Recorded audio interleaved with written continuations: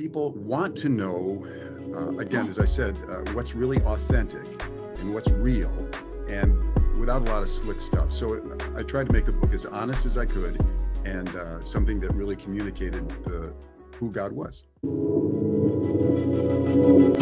What's up, everybody? Welcome back to the Things You Don't Hear in Church podcast. My name is Ethan. And my name is Derry. And guys, check us out on social media. We're all over the YouTube space, the Spotify and iTunes and Instagram and TikTok and all that stuff. Leave reviews and subscribe. Really helps the channel grow. Add some comments. That helps get it out there too to reach more people with the gospel. Yeah. Right, y'all. Today we have an awesome guest returning onto the show. The show, George Sarris. He's the voice. If you've ever been on uh, the Bible app before and you listen to NIV, he's the voice of the NIV uh, Bible. Really awesome, kind of what I grew up listening to. Um, he's also done some other versions as well before. Um, pretty cool. So like his voice has been in my head since since a child, so it's always awesome to talk to him and hear his voice again. Uh, he's a voice actor. Um, he's an author. Uh, he has other books that we've had him on to talk about. He's a speaker, an actor. He's got a YouTube channel that he posts a lot of good content to as well. Um, he has a master's degree in divinity, and today we're having him on to talk about his new book. Pretty brand new. Do you uh, can you tell us when it was released? Yeah, it was. I think it was uh, January 27th of this year. Mm, there So you go. pretty, pretty new. Yeah. So In this fact, is the book uh, right here. last week, I, I uh, put up the audio version. I finally got a chance to Oh. thing recorded uh, since I'm the uh, narrator for it. Um, but it was, I had a number of other books that I was narrating and other things I was doing and never got a chance to get to it. And finally got it done. And it was, there you go. was I think last, a week ago Monday, I think is when I Hmm. put it up, something like that anyway. Cool.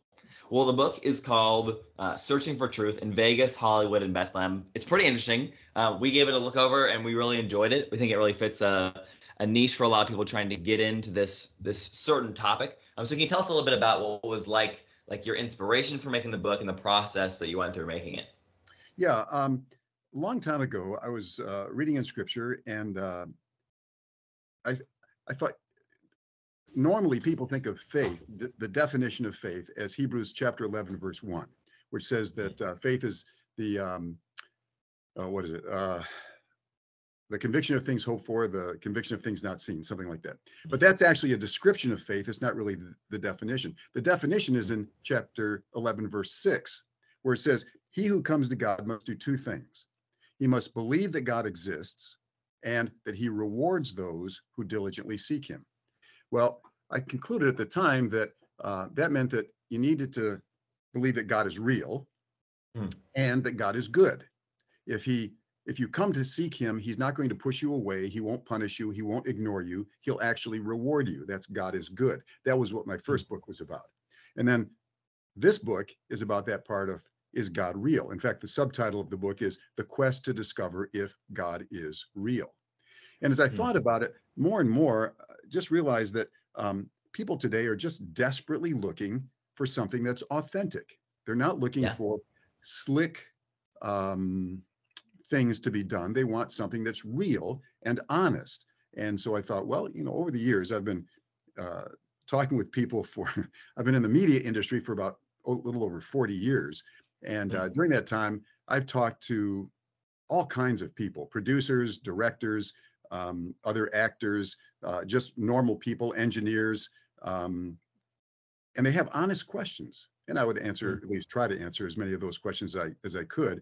And so um, I decided, you know, I ought to write a book about is God real for those Hmm. people that are wondering about that. And especially today, because people want to know, uh, again, as I said, uh, what's really authentic and what's real and without a lot of slick stuff. So uh, I tried to make the book as honest as I could and uh, something that really communicated the who God was or who God Hmm. is. That's awesome. What was the process of making it like? Like, were you doing a lot of research? Is a lot of this just questions that you had heard before? Um, what were you trying to address when you were really getting at the foundations of the book? Well, I originally finished the book in the year 2000. Now, that's a long Wow. time ago, right? 23 years ago. I was working in uh, the New York uh, media industry, and a lot of the people that I came in contact with had, had a lot of these questions. And so I started to write a book to try to give them answers. I, I looked around, I didn't find anything that was quite what I liked. So I wrote the book, and uh, I couldn't get it published. I mean, You know, George Sarris is a nobody. Nobody knew where I was. And at that time, you Mm. couldn't self-publish the book. You could only get it through a regular publisher. And so I just set it aside and uh, didn't think about it too much. That's why I went to my second book, uh, Heaven's Doors, talking Mm. about is God good? And uh, then I don't know, about three or four years ago, I thought, you know, I ought to get that book out and see if I can update it, do a little more research, and uh, see if I can, if it's you know as good as what I thought it was back in 2000. So I, s- I took it out and uh, started doing a lot more research on it, and uh, that's what came as a result. That's awesome. Yeah. Can you walk us through the flow of the book a little bit, like your intentionality of where it starts and the, the journey it kind of takes you on? Yeah, um, the title is kind of interesting because the title is uh, Searching for Truth in Vegas, Hollywood, and Bethlehem. And uh, Vegas really is relating to chance, right? What do you have? You go to Las Vegas, you throw the dice, and it comes out to be whatever it happens to be. And uh, that's really evolution. You know, the, the standard view in our culture today is that mankind and the world and the, the universe, whatever, just sort of happened to come together by chance. And Hmm. so the first chapter really deals with that particular issue. Is chance the source of where things come from? Uh, Hollywood is the force of Star Wars.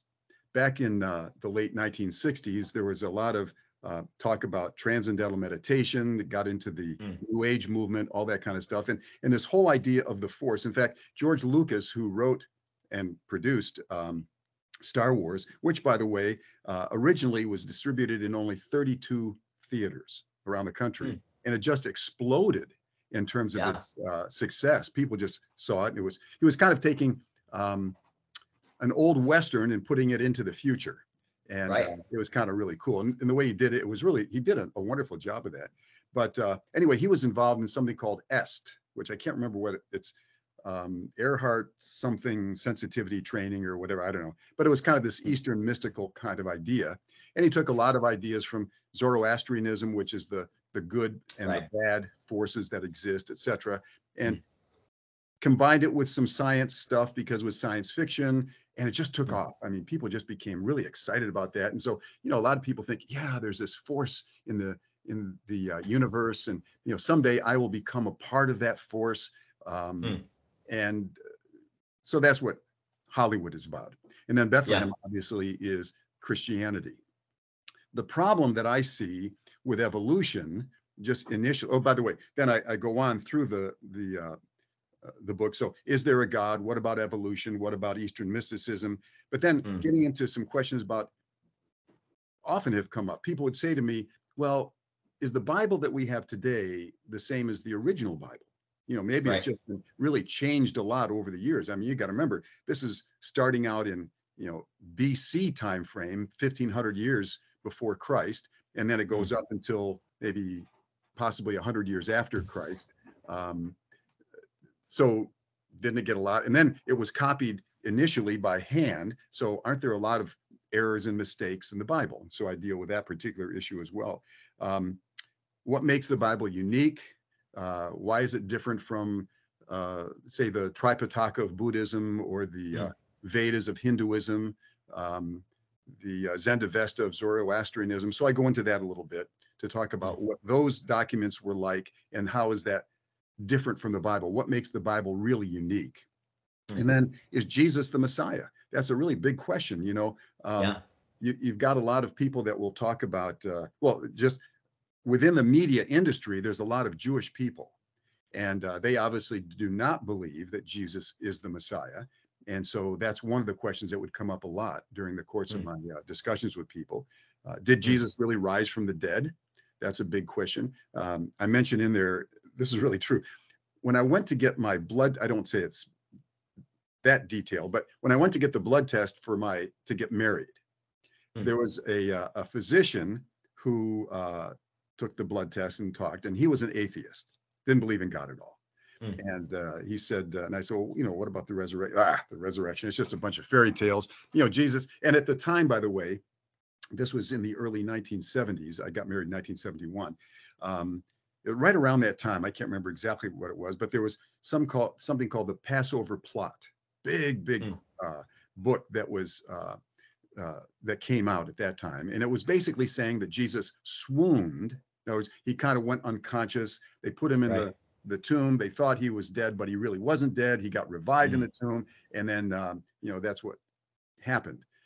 So I said to him, "Okay, now you're a physician," and I said, um, "If you had iron spikes, you know, stuck into your your uh, wrists and into Mhm. your feet, and you were beaten by a professional executioner or a professional torturer, and uh, you were put into this cold slab uh, in a in a tomb."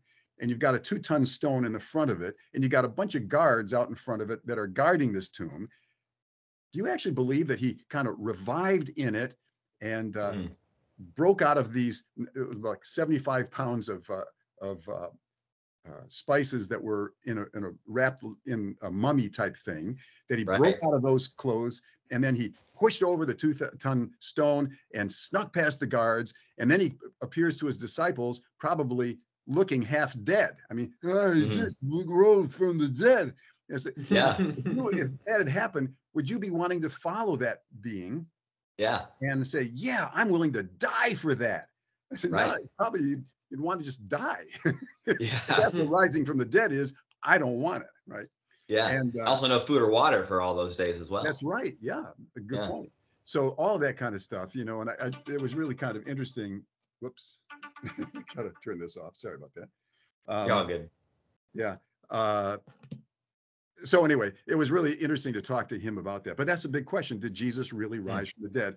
And then I think one of the the biggest questions that people have, and this is this is something that is not an easy question to answer, but it's an important question to answer. If God is all powerful, and God is good, and He's wise, why is there so much pain and suffering in the world? Yeah. Um, why do you have people with birth defects? Um, why do you have uh, people that get into um, accidents? You know, Mhm. uh, why do you? Why would God allow torture? That's a big one. You know, I mean, torture is purposefully inflicting pain on someone. Why would God do that? And another big question for the biblical people is why would God actually command his people to wipe out a civilization uh, when Hmm. they went into uh, Canaan? So those are some of the Right. questions that I tried to uh, uh, answer and address in the in the book.